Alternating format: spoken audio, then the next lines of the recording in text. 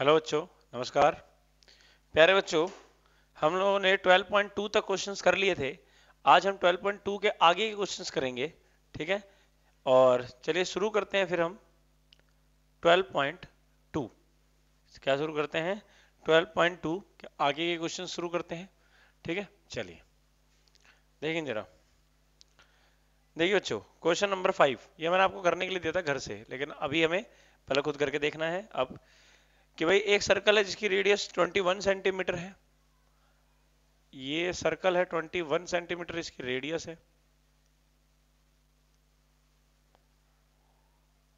ठीक है? और एक कॉर्ड इसको काट रही है।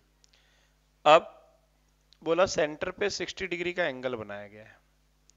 ठीक है? कह रहा है भाई तो कह रहा है भाई लेंथ ऑफ़ आर्क बताओ। चलिए। सबसे पहली बात रेडियस ऑफ़ सर्कल आपको दिया ही हुआ है 21 सेंटीमीटर वृत्त की त्रिज्या। ठीक है, अगला नाउ पहला length of arc length of arc चाप की लंबाई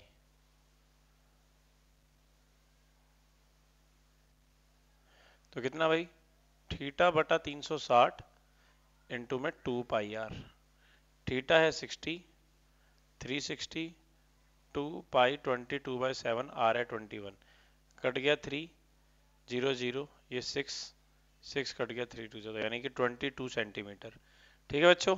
नाउ अगला क्या निकालने के लिए बोला है उसने? Area of sector area of sector theta बटा 360 पाई आर स्क्वायर। तो थीटा है 60 360 पाई है 22 बटा सात, आर है 21 गुने में 21 ज़ीरो ज़ीरो कट गया, ये कट गया 6 सात तिया इक्कीस, तीन दुनी, दो से कट गया ग्यारह। ठीक है तो मल्टीप्लाई होगा तो बन जाएगा कितना बच्चों? मल्टीप्लाई होके बन जाएगा ग्यारह गुना में इक्कीस, एक गुने में ए, ग्यारह के ग्यारह एक, ग्यारह दुनी बाईस और एक तेईस। तो इतने सेंटीमीटर स्क्वायर नाउ अब हमें निकालना है एरिया ऑफ़ सेगमेंट इसका एरिया ठीक है? तो ये ट्रायंगल का नाम दे दो ओ ए बी तो कैसे निकालेंगे भाई? सेक्टर में से सेक्टर में से triangle minus area of segment area of segment ठीक है? वृत्तखंड का क्षेत्रफल. वृत्तखंड का क्षेत्रफल. तो बराबर क्या भाई? एरिया ऑफ़ सेक्टर माइनस में area of triangle triangle O A B ठीक है? वृत्त त्रिज्या खंड का क्षेत्रफल? त्रिज्या खंड का क्षेत्रफल? माइनस त्रिभुज ओ ए बी का क्षेत्र। ठीक है? तो त्रिज्या खंड का क्षेत्रफल क्या है बच्चों? ठीक हाँ ये तो हमने निकाल लिया है। 231 और ट्रायंगल का area, one by two, sorry, one by two नहीं। देखो, अब ध्यान से समझना। ध्यान से समझना बच्चों। जब ये 60 डिग्री है और ये भी 21 ये भी 21 जब दोनों की लेंथ सेम है तो ये दोनों की भाई क्या होगा भाई? ये भी 60 ये भी 60 सही बात है? तो जब तीनों एंगल 60 60 60 के हो गए तो इक्विलेटरल ट्रायंगल हो गया और इक्विलेटरल ट्रायंगल का जो फॉर्मूला होता है, वो होता है एरिया का formula three by root three by four up side की square two thirty one minus root three by four side कितना है? साइड है ट्वेंटी वन का स्क्वायर तो two three one forty four four one twenty one का square root three upon में four तो इतने सेंटीमीटर स्क्वायर ये हमारा एरिया ऑफ़ सेक्टर आ गया. क्या आ गया है? एरिया ऑफ़ सेक्टर ठीक है? चलिए नोट कीजिए से फटाफट. क्वेश्चन नंबर फिर छ आपको खुद करना है. फिर क्वेश्चन नंबर एट करेंगे.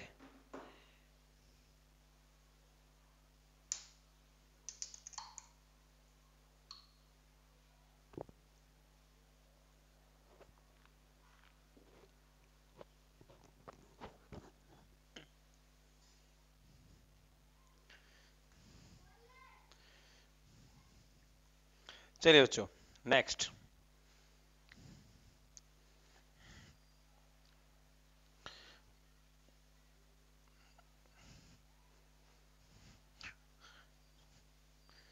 question number eight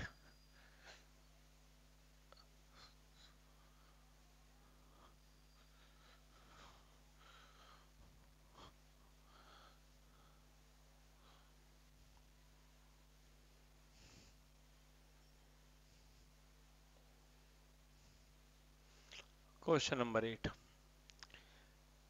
Six आपको खुद करना है, सेवन करवाऊँगा, टेंशन मत लो, एट देखेंगे।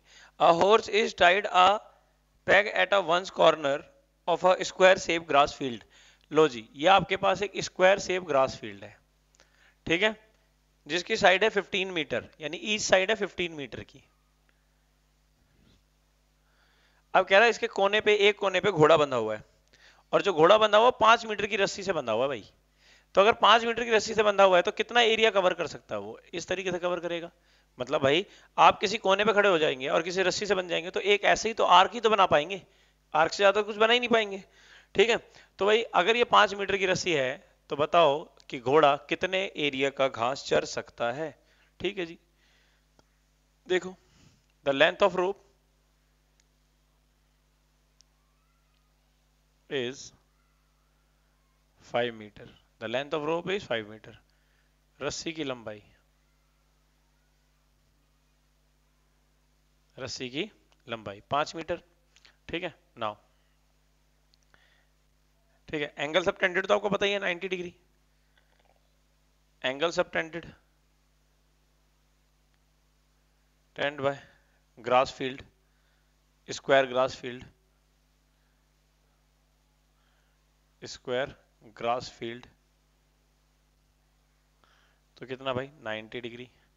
ठीक है? वर्गाकार, कर, घास के मैदान द्वारा बनाया गया कोण? गया कोण। तो कितना बच्चों? 90 degree. Now, area of grazing. हाँ भाई, चरे हुए भाग का क्षेत्रफल। चरे हुए भाग का क्षेत्रफल। तो कितना होगा बच्चों? थीटा बटा 360 पाई आर स्क्वायर तो थीटा तो 90 है 360 पाई की वैल्यू बोलिए 3.14 लेने के लिए। और आर है आप भाई पाँच इंटू पाँच। ज़ीरो ज़ीरो कटा ये कट गया चार दो से कटेगा दो ये कटेगा 1.57 मल्टीप्लाई करेंगे 1.57 25 को पच, पचम पच्चीस बटा दो। मल्टीप्लाई कर दो भाई। हाँ भाई मल्टीप्लाई करो। तो ट्वेंटी फाइव पच्चीस सत्ते, एक सौ पिछहत्तर का पाँच रह गया सात। सॉरी सत्रह। ठीक है? फिर पच्चीस पंजे, एक सौ पच्चीस और सत्रह, एक सौ बयालीस। ठीक है? एक सौ बयालीस का रह गया, दो रह गया, चौदह। पच्चीस कम पच्चीस और चौदह, उनतालीस। उनतालीस दशमलव पच्चीस बटा दो काटेंगे। तो एक, नौ छ दो, पाँच। इतने सेंटीमीटर स्क्वायर तो भाई, पाँच मीटर की जब रस्सी से बंधा हुआ था घोड़ा तो उसने इतना एरिया कवर किया। उसने इतना एरिया कवर किया क्या करने के लिए? घास चरने के लिए। ठीक है भाई? घास चरने के लिए। ठीक?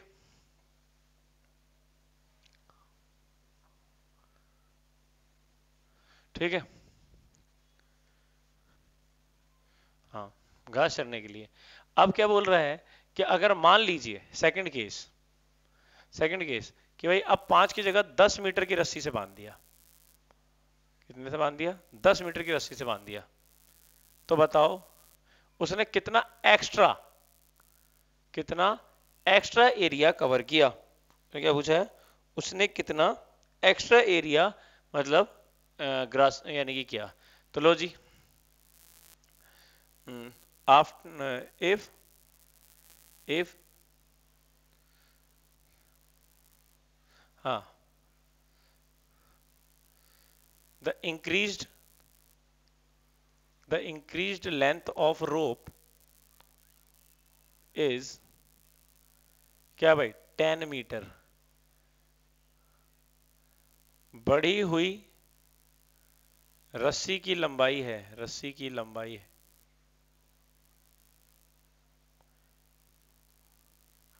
की लंबाई है 10 मीटर ठीक है?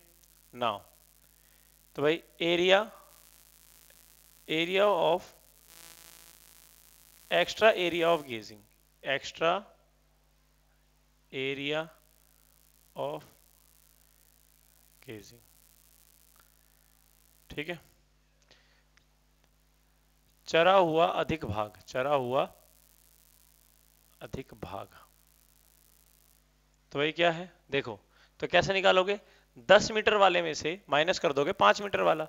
Theta by 360 pi r one का square minus theta by 360 pi r two का स्क्वायर। ठीक है? अब या बड़ा आर ले लो या छोटा आर ले लो, ऐसा कर लो।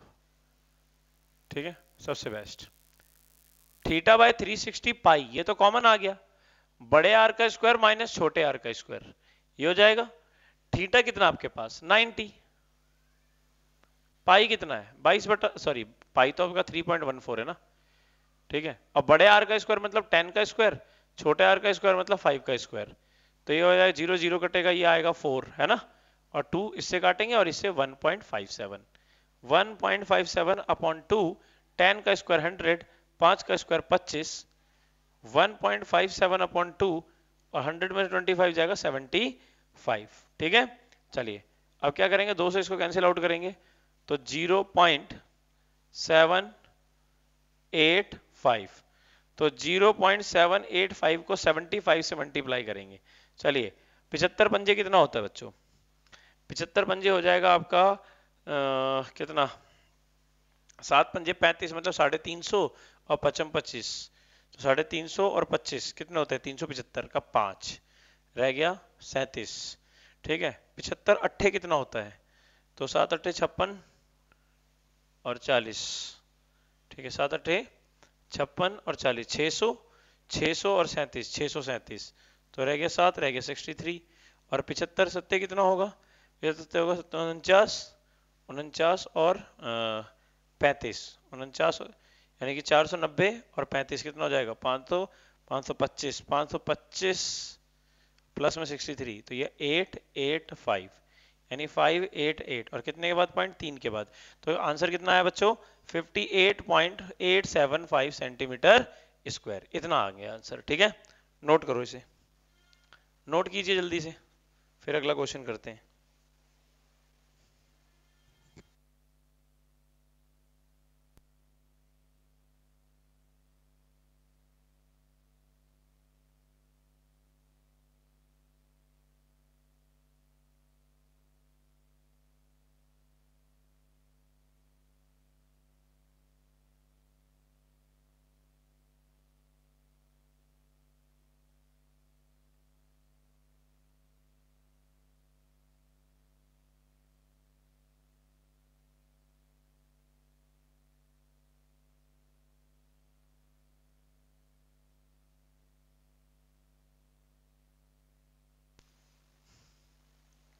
हेलो हाँ जी बच्चों, चलिए।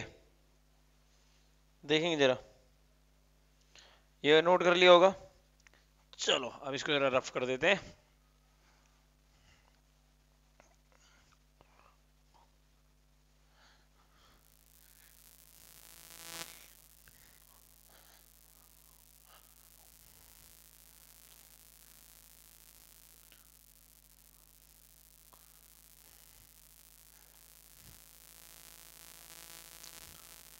अगला क्वेश्चन है बच्चों, क्वेश्चन नंबर नाइन। बहुत अच्छा क्वेश्चन है, प्यारा क्वेश्चन है।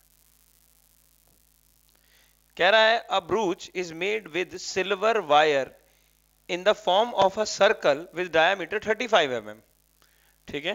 Circle with diameter 35 five M M the wire is also use in making five diameters which divide the circle into ten equal sectors on in the figure find the total length of the silver wire required, the area of each sector of the brooch. बहुत ही simple सा है देखो बच्चों, ये आपके पास एक ब्रूच हो गया सर्कुलर ठीक है जी? सॉरी बच्चों, एक, दो, तीन, चार, एक, दो, तीन, चार, पाँच। और पाँच ऐसे ही ये खींचे गए एक, ये सेंटर है। दो तीन, चार और ये पाँच। और ये सारे आपस में बराबर है, बच्चों। ठीक है? हाँ ये सारे के सारे एंगल्स आपस में कैसे हैं? बराबर है। सारे के सारे एंगल्स आपस में बराबर है। ठीक है? चलिए। अब कह रहा है कि ये सारा का सारा ब्रूज जो है ना मतलब ये जो हमने खींचा, ये पाँच लाइनें जो खींची, ये सब सिल्वर वायर से खींचा हमने। किससे खींचा है? सिल्वर वायर से। ठीक है? और जो डायामीटर है वो 35 फाइव mm का है। डायामीटर ऑफ़ ब्रूच कितना बच्चों? 35 फाइव mm ठीक है? ब्रूच का व्यास 35 mm ठीक है? अगला क्या कहेंगे? आ, तो यानी कि अगर ब्रूच का व्यास 35 फाइव mm है तो एक की लेंथ भी 35 फाइव mm होगी, ठीक है? और radius of brooch radius of brooch तो कितना आएगा 35 फाइव एम एम अपॉन में 2 M M, thirty five upon में 2 एम एम, ठीक है? ब्रूच का की त्रिज्या, ठीक है? अब क्या बोला उसने? कह रहा total length of the silver wire तो टोटल लेंथ क्या होगी? एक तो इसका सरकमफ्रेंस प्लस पाँच लेंथ ठीक है? Now total length of silver wire चांदी की तार की कुल लंबाई। चांदी के तार की कुल लंबाई। ठीक है? हाँ भाई, क्या है? तो क्या होगा? एक तो होगा circumference of circumference of brooch. Plus five into में length of length of diameter ठीक है? तो क्या है बच्चों? ब्रूच की परिधि, ब्रूच की परिधि प्लस में पाँच गुने में व्यास की लंबाई। ठीक है? हाँ जी तो ब्रूच हाँ जी, क्या है? Two pi r plus five into में क्या है भाई? व्यास की लंबाई डी तो टू बाई की वैल्यू बाईस बटा सात आर की वैल्यू थर्टी फाइव अपॉन में टू प्लस फाइव इंटू में डी कितना थर्टी फाइव दो से दो कट गया, इससे ये कट गया पाँच। आंसर देखो। बाईस पंजे एक सौ दस प्लस पैंतीस पंजे कितना हो गया? पाँच। और पाँच से पंद्रह सत्रह तो कितना हो गया? दो सौ पिचासी एम तो भाई चांदी की तार टोटल कितनी लंबी लगी? Two eighty five M M आई ठीक है भाई? अगला क्या पूछा है? अगला पूछा है the area of each sector low ji now the angle sub the angle subtends subtends by each sector is प्रत्येक त्रिज्याखंड द्वारा बनाया गया कोण? बनाया गया कोण? आपको अच्छे से पता है कैसे बनाते हैं? 360 पूरे का होता है। अब जितने पार्ट्स हैं, एक, दो, तीन, चार, पाँच छः सात, आठ, नौ, दस। तो दस पार्ट्स हैं तो ज़ीरो यानी कि 36 डिग्री हर पार्ट का कितना एंगल आ गया? 36 degree now the area now the area of each sector area of each sector प्रत्येक त्रिज्या खंड का क्षेत्रफल? थीटा बटा 360 पाई आर स्क्वायर। ठीक है तो थीटा 36 360 बाईस बटा सात, आर कितना? 35 five upon two, thirty five upon two. छत्तीस से कटेगा 10 सात से कट गया पाँच पाँच दूनी दस, ठीक है, दो से कट गया ग्यारह। तो कितना आ जाएगा आंसर भाई? ग्यारह पंजे पचपन, ग्यारह तीय तैंतीस और पाँच अड़तीस बटा चार, इतने एम एम स्क्वायर। इतने एम एम स्क्वायर करो। जल्दी जल्दी नोट कर लो इसको।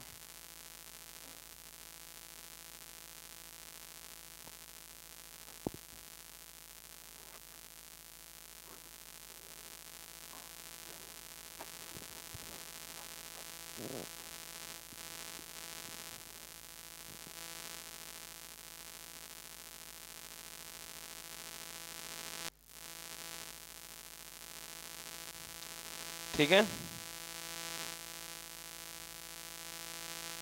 Question number ten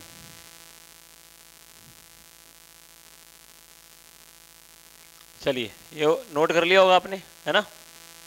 question number ten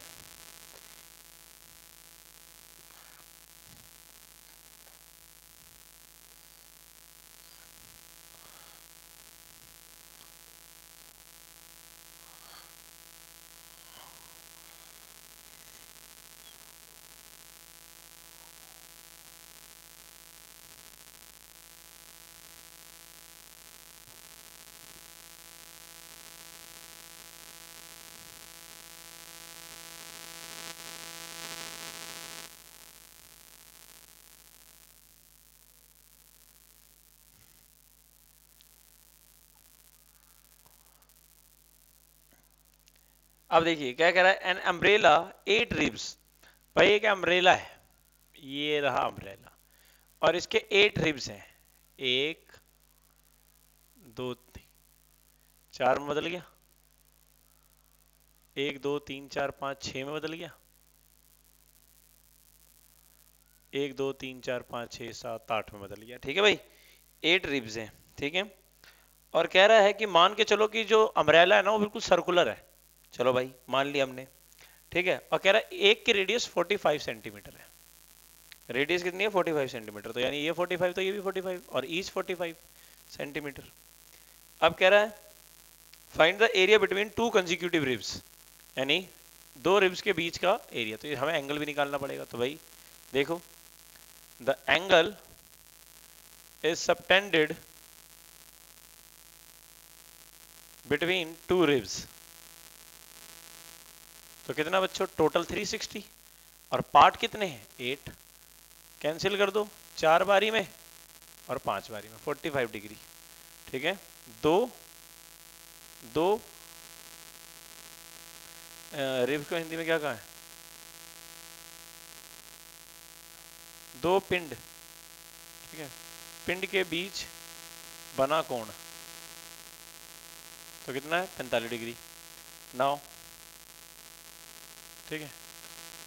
और ये भी लिख लो रेडियस रेडियस ऑफ़ अम्ब्रेला तो कितना? है फोर्टी फाइव सेंटीमीटर ठीक है। छतरी की त्रिज्या। नाउ एरिया ऑफ़ सेक्टर त्रिज्या खंड का क्षेत्रफल। थीटा बटा 360 पाई आर स्क्वायर। थीटा कितना है? 45 360 और ये 22 बटा सात, आर भी 45 फाइव इंटू फोर्टी फाइव तो भाई क्या होगा? 45 से काटेंगे। नौ पंजे, नौ चौके, ज़ीरो। पाँच से आठ बारी में। चार, ग्यारह। ग्यारह गुना में बीस, पच्चीस। बटे में सात चौक अट्ठाईस। ठीक है? तो आंसर कितना आ गया भाई? आंसर निकालो। ग्यारह पंजे पचपन, ग्यारह दुनी। बाईस और पाँच सत्ताईस, ग्यारह दूनी बाईस बटा अट्ठाईस सेंटीमीटर स्क्वायर करो। ये आंसर। जल्दी जल्दी कर लो।